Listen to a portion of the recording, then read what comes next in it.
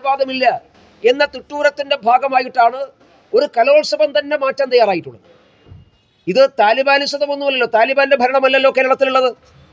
പിണറായി വിജയന്റെ ഭരണം കേരളത്തിൽ താലിബാൻ മോഡൽ ഭരണമാണോ എന്ന് സി പി എം വ്യക്തമാക്കേണ്ടതായിട്ടുണ്ട്. ഇതാണോ സി പി എമ്മിന്റെ ജെൻഡർ ഇക്വാളിറ്റി ഇതാണോ സി പി എമ്മിന്റെ തുല്യത?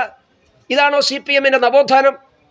അതുകൊണ്ട് ഈ കാര്യത്തിൽ സംസ്ഥാന സർക്കാർ ഭരണഘടനാനുസൃതമായി പ്രവർത്തിക്കാനാണ് തയ്യാറാകേണ്ടത്. അല്ലാതെ ശരീരത്തിനനുസരിച്ച് പ്രവർത്തിക്കാനല്ല സംസ്ഥാന സർക്കാർ തയ്യാറാകേണ്ടത്. എന്തുകൊണ്ടാണ് കേരളം ഇക്കാര്യത്തിൽ മൗനമവലംബിക്കുന്നത് ഇപ്പോൾ ലോക ഫുട്ബോൾ നടക്കുന്ന സമയത്ത് ആ ഫുട്ബോൾ കാണാൻ വേണ്ടി പാടില്ല എന്ന് സമസ്തയുടെ ചില നേതാക്കന്മാർ പ്രചരിപ്പിച്ചപ്പോൾ അങ്ങനെ ഒരു പ്രസ്താവന ഇറക്കിയപ്പോൾ വലിയ തോതിൽ അതിനെതിരായിട്ട് പ്രതിഷേധം ഉയർന്നു വന്നിട്ടുണ്ടല്ലോ.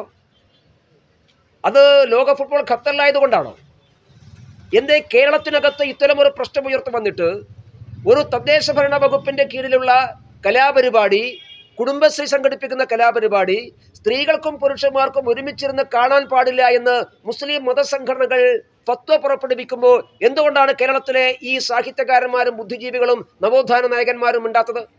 സ്ത്രീകൾക്കും പുരുഷന്മാർക്കും തുല്യത വേണമെന്നുള്ള ഒരു പ്രതിജ്ഞയെടുക്കാൻ കുടുംബശ്രീക്കാരെ ഞങ്ങൾ അനുവദിക്കില്ല എന്ന് പറയുമ്പോൾ എന്തുകൊണ്ടാണ് നവോത്ഥാന നായകന്മാർ ഉണ്ടാത്തത്? നവോത്ഥാനം വൺ വേ ട്രാഫിക് നവോത്ഥാനം എന്നുള്ളത് ഭൂരിപക്ഷ സമുദായത്തിന് മാത്രം ബാധകമായിട്ടുള്ളതാണോ? എന്നാണോ പിണറായി വിജയന്റെ നിലപാട്? അതുകൊണ്ട് ഈ കാര്യത്തിൽ സർക്കാർ ഒളിച്ചുകളി അവസാനിപ്പിക്കണം ഭരണഘടനാനുസൃതമായി പ്രവർത്തിക്കണം. മുസ്ലിം മതസംഘടനകളുടെ ഈ ഫത്വക്കെതിരായിട്ട് ഈ തീരുമാനത്തിനെതിരായിട്ട് അങ്ങേയറ്റം ഭരണഘടനാ വിരുദ്ധമായ ജനാധിപത്യ വിരുദ്ധമായ സ്ത്രീ വിരുദ്ധമായിട്ടുള്ള തീരുമാനത്ത് അവർ പുറകോട്ട് പോകണം. ഇതിനെതിരായിട്ടുള്ള ശക്തമായിട്ടുള്ള പ്രതിഷേധം കേരളത്തിൽ ഉയർന്നു വരണം എന്ന് ബി ആവശ്യപ്പെടുകയാണ്.